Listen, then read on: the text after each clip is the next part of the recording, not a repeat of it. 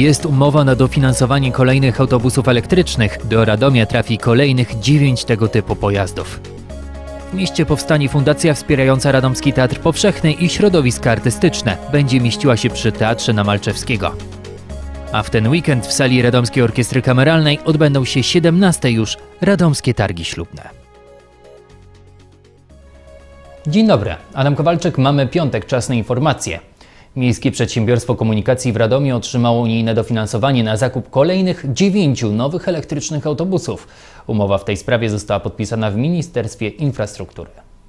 10 autobusów elektrycznych zakupionych w ramach projektu multimodalnego wyjedzie na ulicę Radomia w połowie 2020 roku. Będzie to 10 autobusów Urbino 12 Electric. Miejskie Przedsiębiorstwo Komunikacji jest już gotowe na ich przyjęcie. Koszt netto budowy stacji ładowania na terenie bazy MPK wyniósł ponad 600 tysięcy złotych. Ale MPK cały czas myśli o powiększeniu taboru elektrycznych autobusów. W 2021 roku pojawi się 9 kolejnych. Wartość projektu to prawie 28 milionów złotych. Dofinansowanie zewnętrzne wyniesie ponad 19 milionów. Umowa z Centrum Unijnych Projektów Transportowych dotycząca dofinansowania tego zakupu została właśnie podpisana w Ministerstwie Infrastruktury. Nowe pojazdy będą wykorzystywane do obsługi linii numer 3 i zastąpią najstarsze autobusy spalinowe w taborze MPK. Natomiast autobusy elektryczne, które w tym roku wyjadą na radomskie ulice, będą obsługiwały m.in. linię numer 1. Przy Powszechnym w Radomiu powstanie niezależna fundacja, która będzie wspierać finansowo nie tylko teatr, ale też inne środowiska artystyczne. Powstanie ona na wzór łódzkiej, która działa już od roku.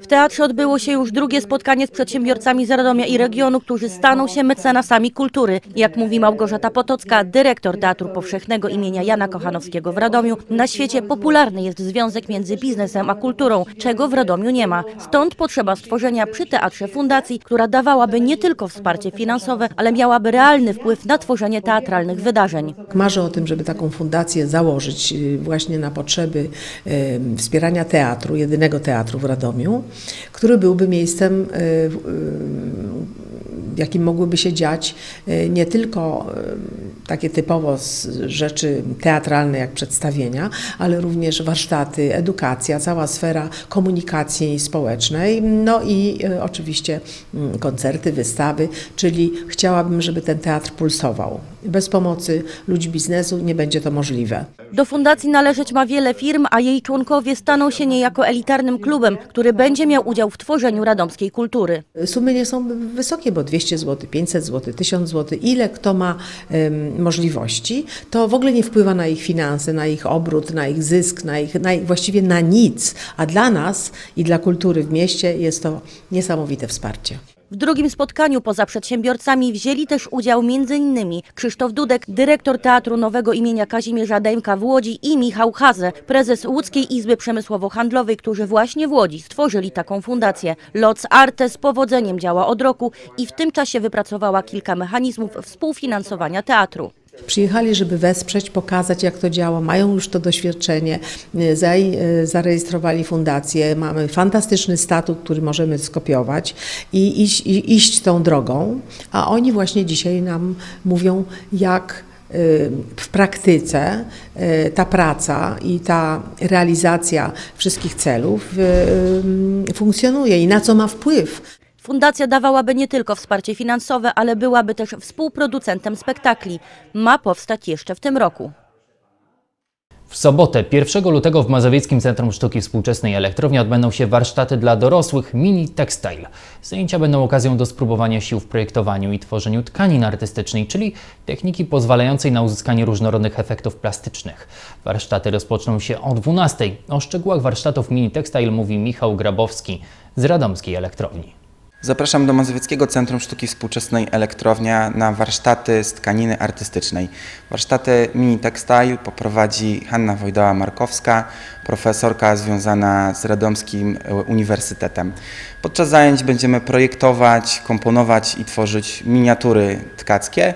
E, będą powstawały z przeróżnych materiałów. Tkanina artystyczna to dziedzina, technika sztuki, która wraca do popularności, wraca do łask, ponieważ daje nieograniczone możliwości ekspresji. Zapraszam serdecznie. Muzeum imienia Jacka Malczewskiego w Radomiu zaprasza w niedzielę 2 lutego na wykład doktora Adama Duszyka pod tytułem Szemrane życie w dawnych wiekach, czyli Rzecz o przestępczości zorganizowanej. Początek wykładu o 12. A w najbliższą niedzielę 2 lutego w sali Orkiestry Kameralnej w Urzędzie Miejskim odbędą się już po raz 17 Radomskie Targi Ślubne. Jak zapowiadają organizatorzy, podczas jednodniowych targów swoją ofertę zaprezentuje ponad 120 wystawców. Będzie się dużo działo, będą y, pokazy na scenie, y, zarówno garniturów, y, fryzur, makijaży, sukien ślubnych, sukien wizytowych. Organizatorzy zapowiadają także dla gości, którzy odwiedzą targi, liczne konkursy z nagrodami. 17 Radomskie Targi Ślubne odbędą się w niedzielę 2 lutego w foyer sali Radomskiej Orkiestry Kameralnej w Urzędzie Miejskim wejście od ulicy Żeromskiego w godzinach od 10 do 18. Mazowieckie Centrum Sztuki Współczesnej Elektrownia także w sobotę 1 lutego zaprasza na kolejne spotkanie z cyklu Wieczory z Gwiazdą. Bohaterem sobotniego spotkania będzie Edward Ryszard Linde-Lubaszenko, polski aktor filmowy i teatralny. Początek spotkania o 18. A w sobotę, 1 lutego w Radomskim Centrum Onkologii odbędzie się Dzień Otwartych Drzwi. W ramach tzw. Tak Białej Soboty wszystkie chętne osoby będą mogły skorzystać z bogatej oferty bezpłatnych porad i konsultacji.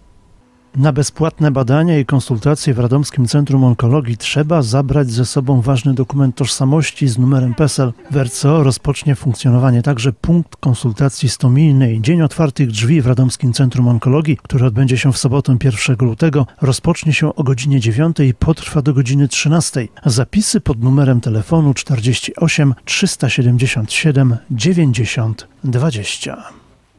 Wielkimi krokami zbliżają się ferie. Z tej okazji Muzeum Jacka Malczewskiego przygotowało szereg atrakcji.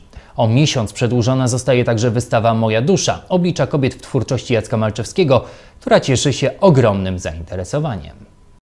Na wystawie Moja dusza oblicza kobiet w twórczości Jacka Malczewskiego prezentowanych jest około 100 obrazów mistrza z 13 kolekcji muzealnych w kraju i kolekcji prywatnych. Wystawa od momentu jej otwarcia jeszcze w ubiegłym roku cieszy się ogromnym powodzeniem. Ekspozycje chętnie odwiedzają osoby z różnych zakątków Polski, dlatego muzeum przedłużyło możliwość jej zwiedzania o kolejny miesiąc. Finisaż zaplanowano na 1 marca. 16 lutego oraz 1 marca w niedzielę o godzinie 12 będę miała przyjemność yy, oprowadzić wprowadzać również odwiedzających po wystawie Moja Dusza. I serdecznie Państwa wszystkich zapraszam. To nie jedyna z atrakcji, jakie przygotowało muzeum. 10 lutego rozpoczynają się ferie. W związku z tym placówka przygotowała atrakcje dla całych rodzin.